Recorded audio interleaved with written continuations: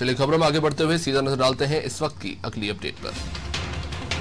अनादर TV को इस वक्त जानकारी मिल रही है कवर्धा से, जहाँ कवर्धा में एक कैदी ने आत्महत्या कर ली है। जेल से अपडेट मिल रही है, बताया जा रहा है कि कैदी ने जेल में फांसी लगाकर अपनी जान दे दी है।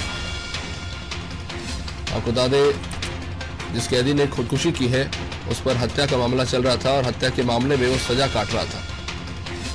ये शख्स बंदोरा गाँव का रहने वाला बताया जा रहा है, जिस, जो हत्या के मामले में सजा काट रहा था।